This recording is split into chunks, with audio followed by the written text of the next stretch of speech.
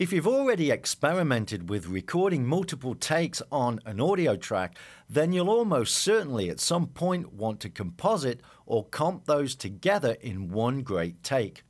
So here we are back in the session. In the last video I recorded three different passes over this section.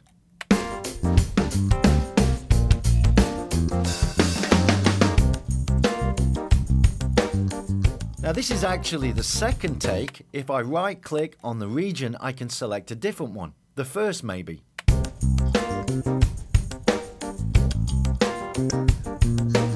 So I like the first phrase of this take. So up to the track menu, going to choose new and we want a new mono audio track.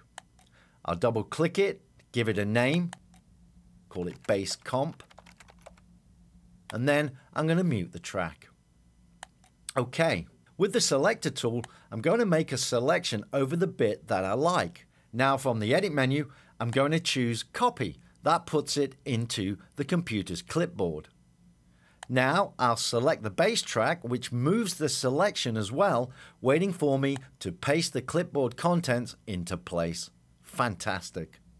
I'll right click on the main region and choose a different take, take 3. But this time I'm going to turn snapping off. I'll zoom in and I'll make the selection without it snapping to the grid. Nice. Control or Command C to copy and again select the track and Control V to paste it in. Okay, I'm going to select take 2, right click on the region, then just here maybe a rest. So here to here is good. I'm Going to copy, select the track, and paste it in. Now I'm going to finish off this comp with a portion from take three. I'm going to scroll over, select, copy, select the track, and paste it in. Beautiful. Now I'll select the entire main region with a double click and then up to the edit menu and I'm going to mute that region so we don't hear it.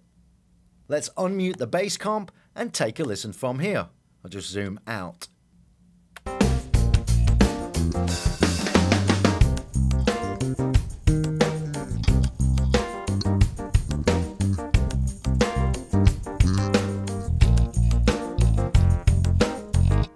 Now just because the main region is muted doesn't mean that you can't work with it selecting a different take. It works the same.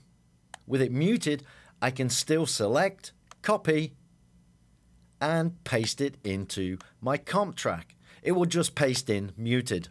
Double click it to select and then up to the edit menu and unmute the region. There we go.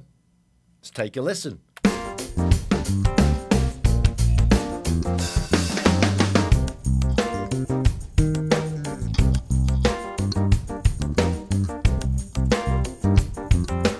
Sounds fantastic.